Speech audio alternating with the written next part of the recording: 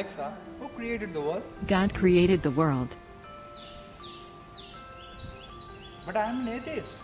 For all the ecozens, God created the ecosystem.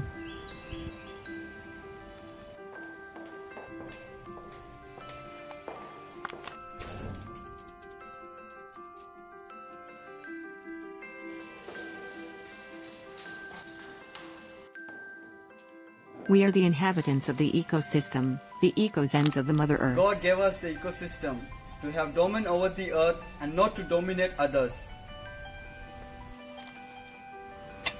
Well, He gave us the land to till, to toil, and to care for it, and not to care everything for oneself.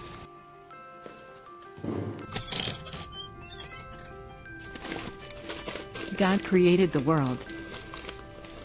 To have the eatable things as food and not to waste them carelessly.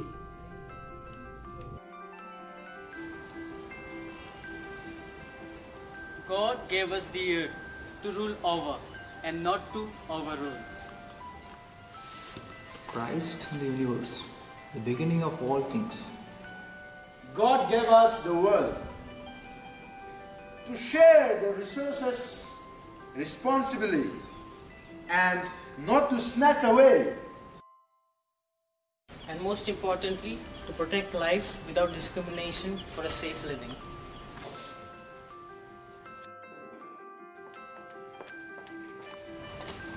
God created us in His own image and likeness to be the ecozens of His Genesis, not to be the eco-gentiles of this Mother Earth. So, if you nurture the nature, the nature will nurture you.